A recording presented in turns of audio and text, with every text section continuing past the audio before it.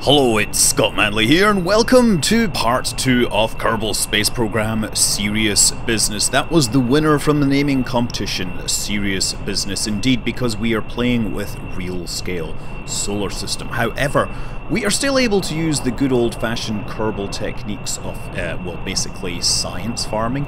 Uh, we had this jet which we took off and found science in the grasslands.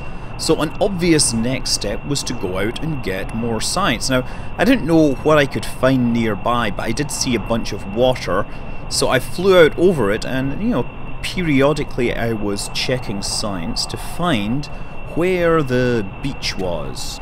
This of course has made me realise that I should really have Kerbal Engineer installed so that I can actually see the biomes, but nevertheless we collect science out uh, not so far from the from the space center, and then send ourselves back. The idea being, of course, that we can test landing because we never really did a proper landing last time due to the the control freezing situation. I had some discussion with uh, people that are the experts in realism overhaul, and they uh, actually sent me a mod manager fix, which I couldn't remember. So instead, I just want to demonstrate what's going on here. If I throttle to below 50%, watch up in the top right, electric charge is still totally positive, but as I'm flying, I'll eventually lose control here. If it goes below 50%, that's when the problems happen. Watch the flaps. See, the flaps, when they are oscillating, that means that something is happening. Obviously, it means my aircraft isn't perfectly well balanced and there we go. See that? So the electric charge in the top right doesn't go to zero. It's not like there isn't electric charge in the aircraft. There's some other issue. And if we right click on the cabin, you can see it says state not enough electric charge. But look, there's thousands of electric charges up in it, there in the corner. Can't you count?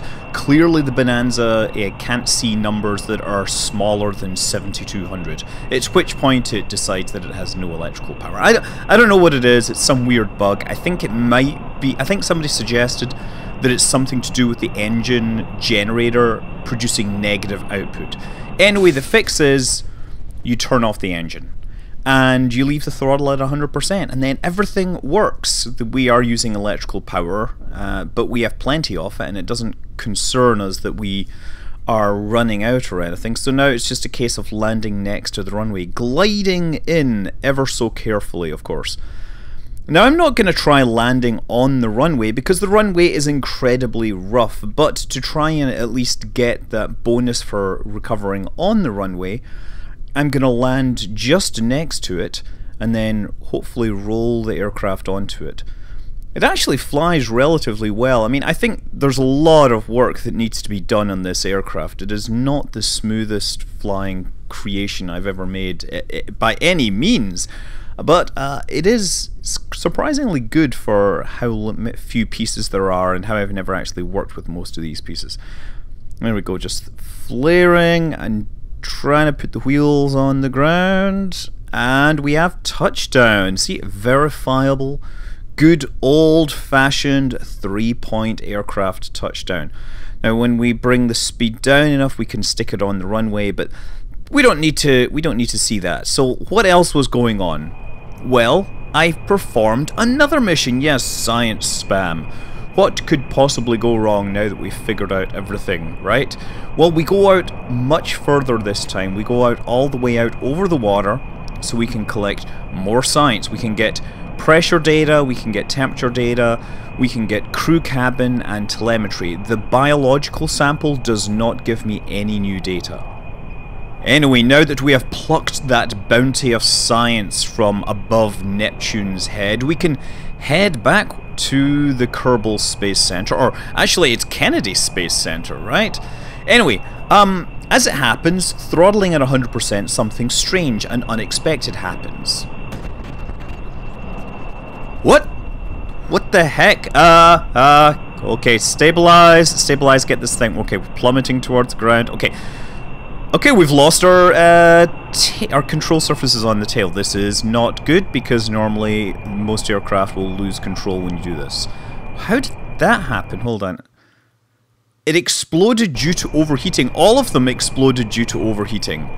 They didn't show any temperature bars or anything. Um, well, um, it appears I'm not yet dead, and so I shall do my darndest to actually land this safely. Thankfully, we do actually have the parachute for the landing.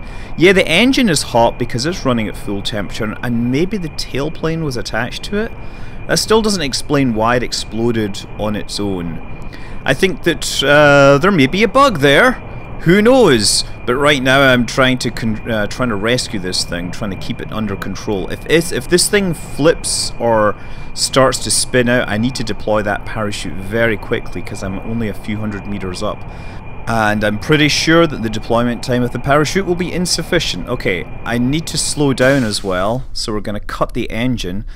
And yeah, I've got roll control, I've got zero yaw control, but it does actually seem to be quite stable. I just can't seem to make it point along my velocity vector here. I think I'm just going to deploy the parachute when I get over dry land. For no reason... I don't know, I, I could have done it over the ocean, but it feels good to actually maintain control of this thing without a tailplane. Okay, now get ready to deploy that chute. Go. Okay, slow everything down. Keep control. Oh, there we lift up. Bit of a spin, stomach churning uh, spin there for Tatiana um, Istominia. Okay. And, oh, nice touchdown anyway. Landed on the wheels, didn't break anything. And the brakes do work. Well, I bet you she's happy to be back on uh, safe on the ground after that in, well, mid-air disaster. Let's get her out here. Maybe we can plant a flag to commemorate this rescue. Whoa! Oh, wow. Ah, it appears that we had a soft landing because we landed in a swamp or something like that. Yes. Uh, oh, wait, no, we don't actually have the ability. We can do an EVA report, which gets us zero science. So much for that. Let's recover this and see how much science we actually have. Okay, so we currently have 8 science, uh, 9 science, which is disappointingly one point short, but she didn't actually have any science on her. No, all the science was actually in the vehicle.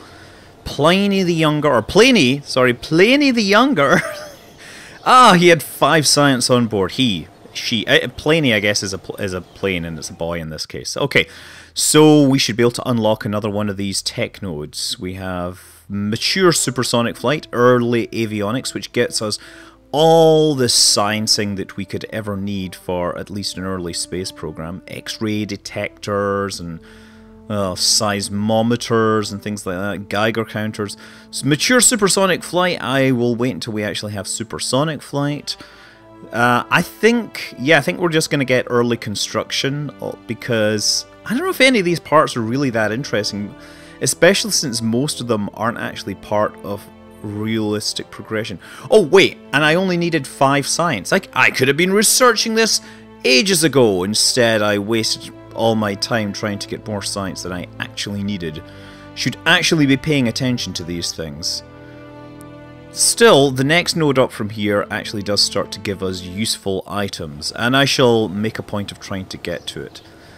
And also note the time to research these. Uh, I had been running my clock in Kerbal time, which meant six hours day, six hour days. So dividing that, of course, by four, or dividing the research times by four, gave us a much more reasonable time to research. Okay, now another thing we can do. All the other biomes, as far as I can tell, are out of range. I looked at the biome map, but what you can do is switch launch sites. So I can go to Vandenberg, which is on the west coast. It's used by NASA for polar launches, which is of course very important for um, Earth observation satellites and things like that. So Vandenberg launches a lot of spy satellites, let's say, and a lot of weather, low altitude observing satellites and things like that. So Vandenberg uh, sits next to a different biome in this case. So what I did was I basically went out to Vandenberg, set up the aircraft, made some modifications, for example taking those aircraft wings and choosing not to attach them to the very very hot engine. Of course, then still using the um, using the adjustability, the adjustment stuff, the adjustment bureaus, the adjustment tools to make sure that they are sitting far enough back and the whole aircraft is sufficiently stable. So this is Well, this is still Pliny the Younger, but it's perhaps uh, the Younger Mark II. I didn't even bother simulating this because I figured that all the numbers were green on the FAR analysis. And sure enough, we get air airborne even on that terrible, terrible runway. And we can almost immediately, well not quite yet, but I think we just have to cross this little channel and we shall be able to start sciencing the heck out of another biome. Wow, those that texture uh, Z-fighting is very, very, very annoying. If, if the developers of Realism Overhaul could fix that, they would have my eternal gratitude. Okay. Anyway.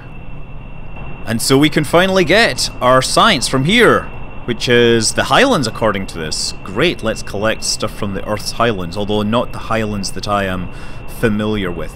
I will point out the real Vandenberg does not have a body of water between the base and the rest of California. I have no idea um, you know, if there's a way to fix that.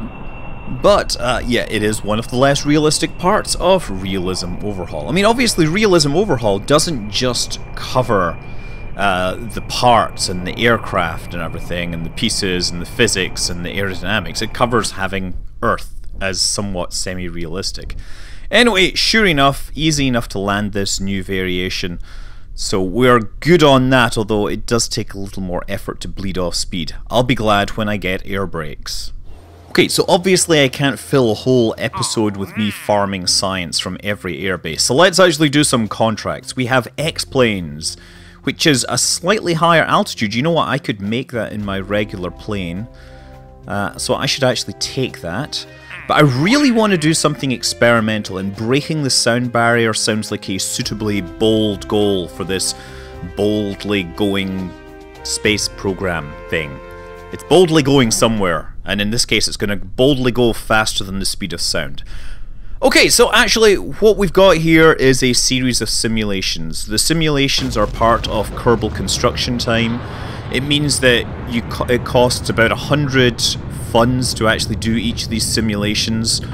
And, well, they uh, let me test the aircraft launch system because fundamentally, the aircraft launch system proved to be the hardest thing.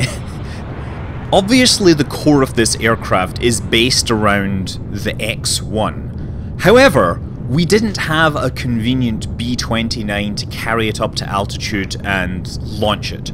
So instead I had to come up with some way to launch it from the runway. Which, uh, well, the runway was terribly unsmooth, so instead I thought, let's try rolling it off the runway first. That will work excellently.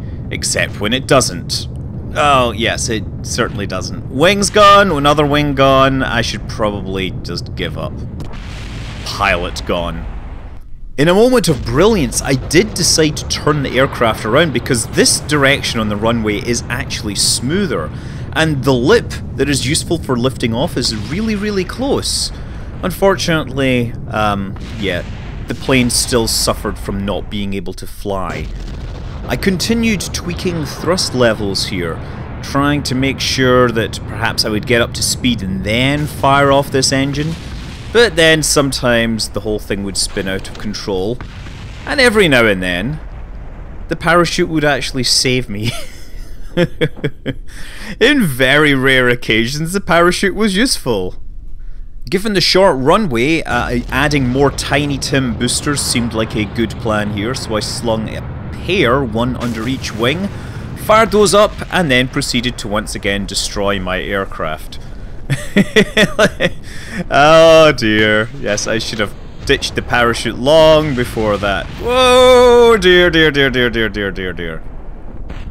Ah, well, at least he survived that one. Oh no. Never mind.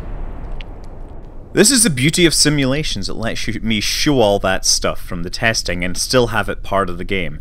Anyway, this is what I finally decided to use, just raw power of four Tiny Tim boosters boosting the whole thing vertically, ditching these, and well, as it happened, I had to pull over the top here and start to roll out of this. Due to a minor error in control mapping, I was not able to roll and pitch at the same time. So this initial launch maneuver was rather delicate to say the least. But, yeah, once we got over that, we were free and we were starting to climb indeed. So now we begin our long climb to altitude where we will break the speed of sound. Yes, uh, new me here, so the plan was we're going to go for 20,000 because we've already got 5,000, so 10,000, 15,000, 20,000. I think that was possible, that was my original plan. Also, you'll notice that every now and then the launch structure just randomly appears. Now we could call that a bug, or we could just say that Vadim Grekov is suffering from some sort of vibration-induced hallucinations. Or perhaps we could come up with the Kerbal version of the Blue Book files.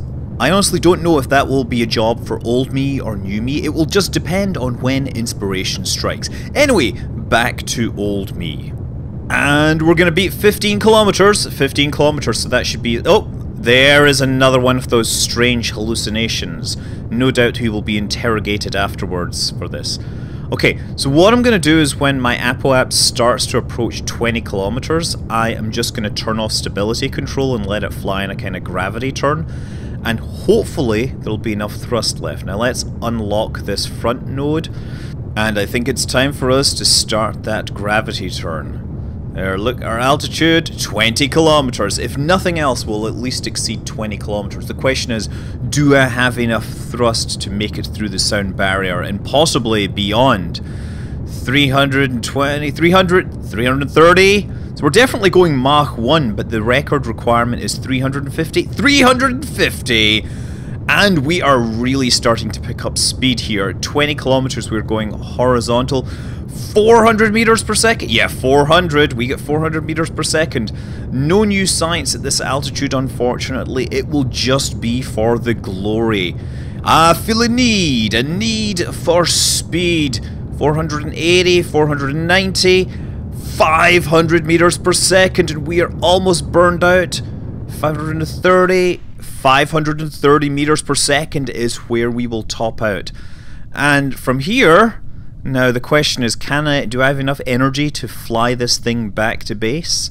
Well, old me didn't know, but of course I have enough energy. It's actually got a lot of altitude, and other than being a terribly unstable aircraft due to its stubby wings and design put together by somebody that really barely understands aerodynamics, it did, when uh, pointed in the right direction, actually fly relatively well. Indeed, we were so high that the problem was we ended up coming down with far too much velocity. So I bled off speed with some hard turns, and now it's back to old me. Oh, you know, I'm so well lined up, I'm almost tempted to try landing this, but I'm just going to deploy the chute and put myself delicately on the runway here. Whoa! Pitching up, pitching up, doing the whole backflip, but I hope I land on the feet. Okay, there we go. Wheels.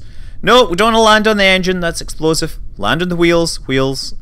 Wheels. Stay in the wheel. Okay, so I need to move that parachute uh, backwards a little. And on the wheels. Excellent. No damage at all. That was a highly successful mission there from Vadim Grekov, the fastest Kerbal on this planet Earth. And with that speed record shattered, it's surely time to bring an end to this episode, and then next episode we can perhaps get back to building those epic rockets.